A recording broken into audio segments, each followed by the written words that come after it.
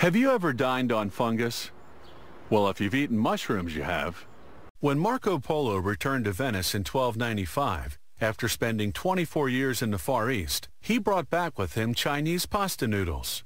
Pasta became popular so quickly that by the 15th century, it occupied a prime position in Italian cooking. In this same era, commercial production began in Naples. Italians today favor macaronis and raviolis with garlic and cheese. Every sticker begins with the work of art. The artist transfers the image to a computer and manipulates it until the desired effect is achieved.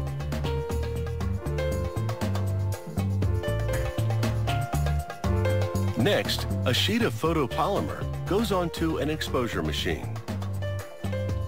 The technician places a negative of the art on top of the photopolymer sheet. He pulls plastic over the two and closes the machine's lid. Inside, a vacuum pulls the negative to the photopolymer. Intense ultraviolet light transfers the art to the photopolymer in seconds.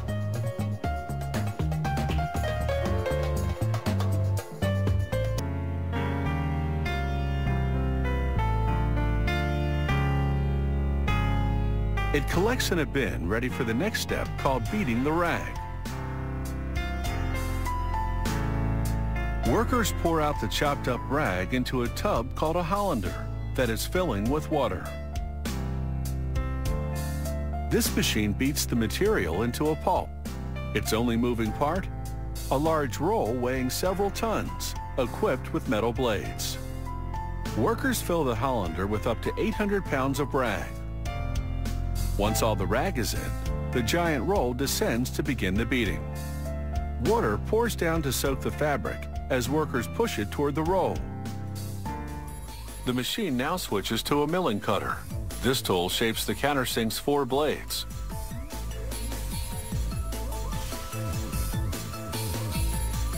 A cross-drilling tool bores a hole for the two screws that'll hold the countersink to the drill.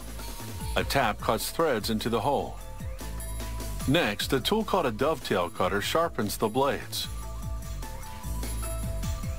Then finally, a cutoff blade removes the tool.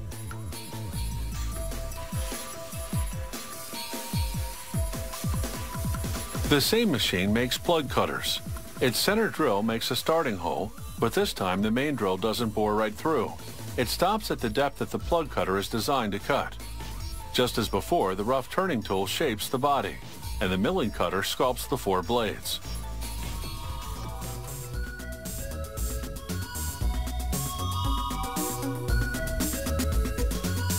A robot arm then places each bag into a cardboard box. The printing on this package displays the company logo, the nutritional content, the production date, and the heating instructions. So, next time you're looking for a salty snack, don't tie yourself up in knots. Just have a pretzel instead. Here, graphic artists adapt hand drawings of the face cards, adding color and a touch of regal class wherever needed. The next step is to make the printing plates. A computer-guided laser etches the design into the polymer surface of the printing plate. Entirely automated, this machine produces 30 plates an hour.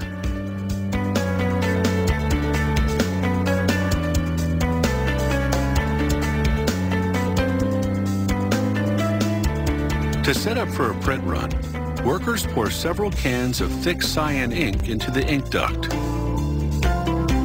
The three other colors, same setup. When the printing press gets rolling, each fountain will disperse ink evenly via 16 rollers. Feeders transport the cardboard sheets one by one into the press. Each printing plate is mounted on a rotating drum Rollers transfer the ink And now butterflies are formed. This mold cuts 7,500 of them a minute for a total of 450,000 an hour. The sheet of dough is two feet wide. It is produced in a steady stream and goes right to the cutting mold. The butterflies fall onto this conveyor to dry somewhat. Then they head toward the next production step. Certain short pastas such as these butterflies and fusillis have to be dried, so they're then put into this full dryer. Coming out of the dryer, the pastas are hard and ready for packaging. Here we see the ever-popular spaghettis being made. As with lasagnas, spaghettis are also dried vertically. Now, this automated machine places the spaghettis onto a cutting table and breaks them to the proper length. The spaghettis are now ready for packaging. Exact quantities to be bagged are determined by computer. Then the spaghettis go gently down this chute. These techniques have evolved over time, but the main ingredient remains the same, imagination.